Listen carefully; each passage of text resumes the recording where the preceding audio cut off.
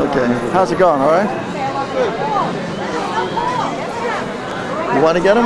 What would alumni of New York without Stanley Ralph Ross, the pride of Lincoln High School?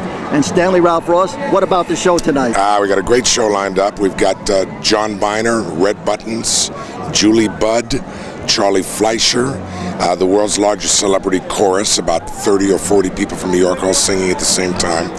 Um, we've got uh, several speakers, Larry King, Connie Stevens. Uh, the show may end by next Purim. Is there a New York connection with all the guests you have today? Yes, everyone's from New York. Uh, everybody attended a New York school or become an honorary alumnus of a school? You mean in the show or here? Yes, in the show. Everybody in the show is from New York. John Byner is from Long Island. I mean, not everyone is from the you know the five boroughs, but everyone in the show is from the city.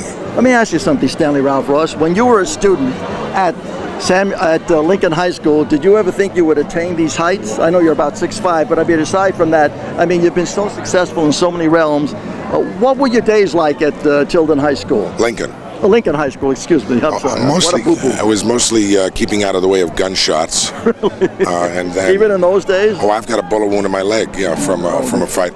I, wha- I thought about when I was a kid. No, I didn't think I was going to be in show business. I thought I might be uh, a cop or a basketball player. Were you in the Drama Society at Lincoln? Yes, I was. Uh, Lou Gossett and I were both in that. Oh, I see. and then uh, and I was the star of the shows there. But I just thought I just did that to keep from uh, taking another class. You know? Stanley Ralph Ross, you've written hundreds of TV scripts. What are you the most proudest of? I think a particular Columbo I wrote that won five Emmys. Oh. But I'm I'm proud of having created so many shows. I created like seven shows. And what's upcoming in the next few months?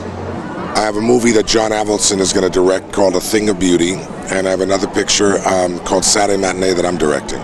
You created something else that's been making news lately. Uh, a showcase for show business people, is that Yes, right? that's called Hollywood uh, Hollywood Showcase uh, Television, and we're a nationally traded company. Uh, we're on Nasdaq. I'm the president, and what we do is we get celebrities and we have them sell items. Well, I told you. that Was you I repetitious? No, no, you meet a lot of interesting people here.